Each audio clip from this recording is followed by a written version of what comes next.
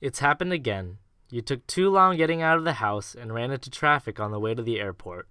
You're huffing and puffing and nervously sweating as you imagine the engines of the plane you're supposed to be on starting to spin, compressing and igniting the air you already feel like you're lacking.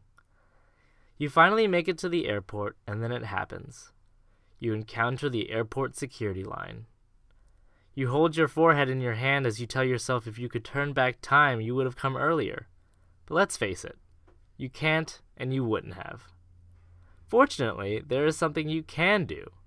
Be smart about how you get through the security checkpoint so that you can shave those valuable seconds off your way to the gate.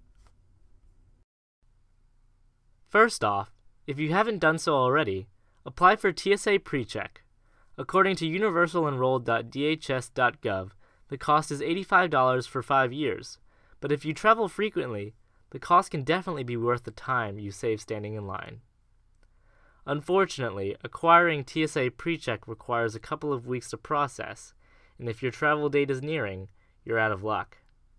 On the bright side, all you really need in order to fly through the security checkpoint is good planning. Knowing what to bring, for example, can be key.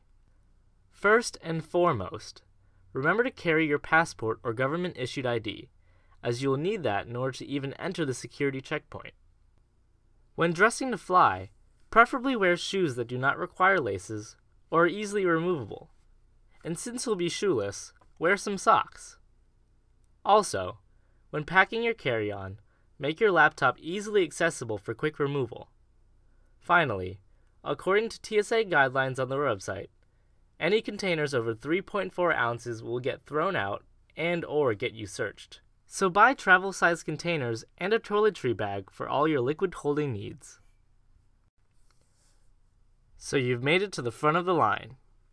You tap your foot as the TSA agent shoots skeptical glances between you and your God knows how old ID before directing you to the nearest security lane. It's time for you to shine.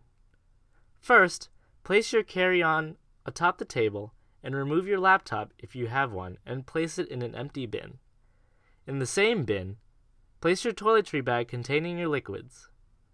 Next, Slip off your shoes and place anything that you may have in your pockets or on your body, be it your wallet, phone, watch, or Hello Kitty keychain, in another bin along with the shoes. Minimizing the number of bins that you use is essential in reducing both the amount of time spent at the lane and the frustration of those behind you. All this time, you should be moving forward, pushing your bins with you as you walk. Now comes the moment of truth, the moment that will define you as a traveler and whether or not you'll be known as that guy who took forever and made me miss my flight. The body scanner looms in front of you, and you're motioned to step into the machine. You step in and let out a sigh of relief as the green light comes on, confirming you're good to go. Of course it did. You're a pro. Quickly move on to the other side of the conveyor belt and retrieve the reward that is your belongings. If you require more time to put on your shoes, utilize the benches nearby in order to get out of people's way. Hopefully, they're your dancing shoes, because you just made it through airport security in record time. Keep in mind, though, that there are multiple scenarios which you want to avoid, and taking proper precaution can prevent you from encountering them. For example, according to lifehacker.com, Carrying loose change with you can send you right back through the body scanner and cost the time of fishing for that last dime in your pockets as you empty them. In addition, taking the time to remove outerwear can cost precious seconds. As a result, pack outerwear such as sweaters, coats, and hats instead of wearing them through security, and forego pants that require a belt. Any of these can help you from getting searched, and no one likes being taken aside for a pat down. If you've made it this far, you're probably in your assigned seat, waiting for the cabin to pressurize and for your aircraft to pull out of the gate.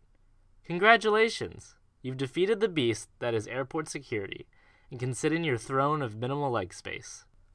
Although you'll probably be just as late to the airport next time, you can sit back and relax once the aircraft has reached cruising altitude, of course, knowing you made it through security and onto your flight this time around.